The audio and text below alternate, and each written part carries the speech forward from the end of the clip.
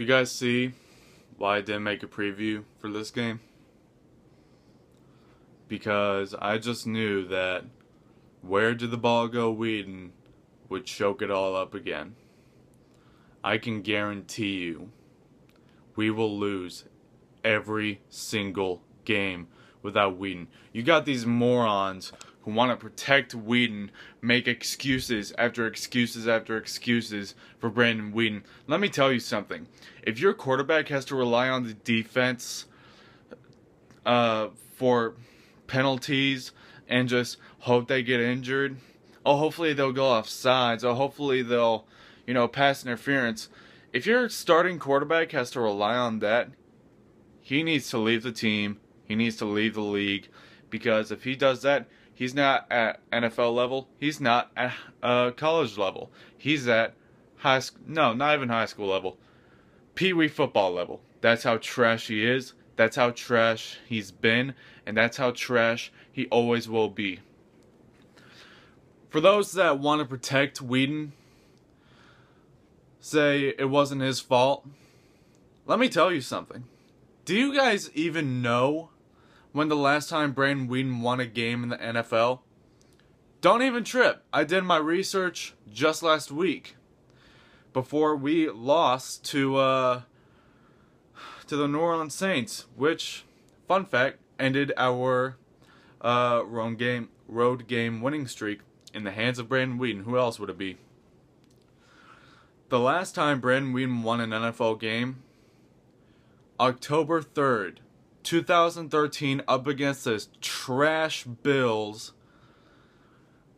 And he didn't even play the entire game. He was with the Browns. He came in like the second quarter as a backup. And he didn't even have much to do with it. It was the defense and the special teams. So his last NFL victory didn't even win, uh, didn't even play the entire game and it wasn't even he he wasn't even the reason or factor on how they won. So all you guys are trying to protect Weeden, screw off. He's garbage and he will never be anything but garbage. Defense, I love it. Greg Hardy, Rolando McClain did great. After the bye week, we're to have Dez Bryant and Randy Gregory back. Dez, Dez is coming back. Not that it matters anyway, because, you know, uh, Jason Garrett, he's too dumb to even give Matt Cassel a chance.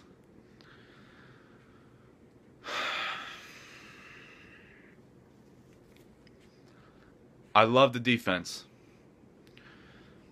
All right, I, I I loved it. Well, the first half. All right, I I just left the game. The fourth quarter is still going on because I'm too disgusted to even look at this team anymore because of how sorry they are with Brandon Weeden. And for those who want to say, "Oh, you're not a fake, uh, you're a fake fan, you're a bandwagon, you don't know anything about football," you're gonna call me a bandwagon? Hold on, I got a picture right here. I got a picture. It. I went to draft day. All right, I went to draft day at uh, Dallas Cowboys 2013 and I got an autograph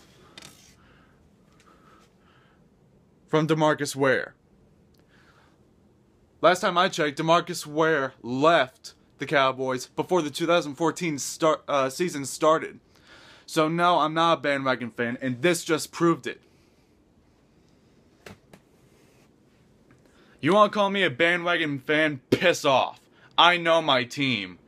Alright? You're gonna call me a fake fan because I'm facing reality?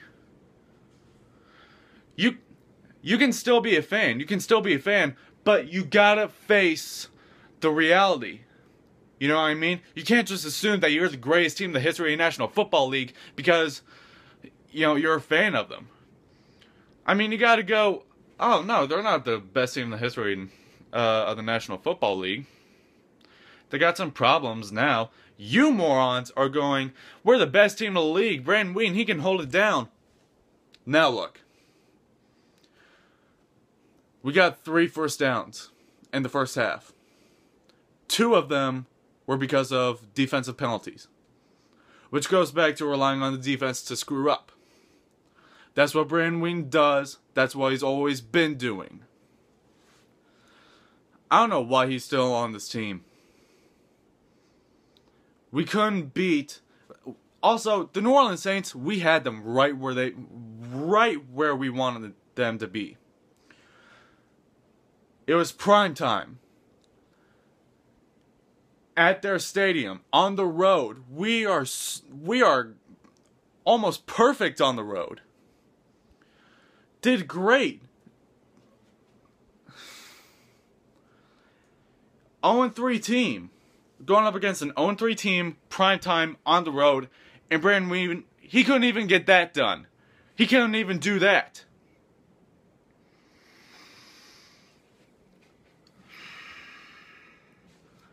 Call me a bandwagon fan just because I'm facing the reality of things, you're retarded.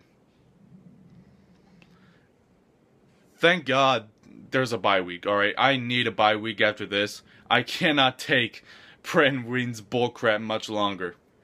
I swear to God. And we haven't lost to the Giants ever since 2012. We're about to, in the hands of Brandon Weeden, as always. He has never won a game with us. And you're still going to protect him. Make excuses. Shut up.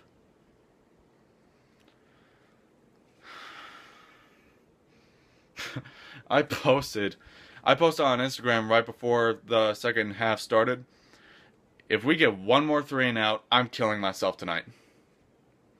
And of course, I'm not going to do that. You know, I, it's just showing people that I'm pissed.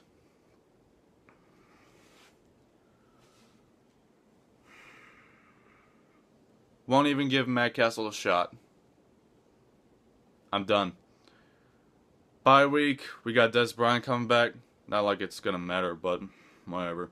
It it just we lose players due to injuries every week, like two to three players. It makes you think, who are we going to lose this week? Oh, Hunter, it's a bye week. What does it matter? They're going to get injured sitting on their couches. I'm done. You guys have a good one. Call me fake fan. I'm just facing the reality of things. Still a fan till the day I die.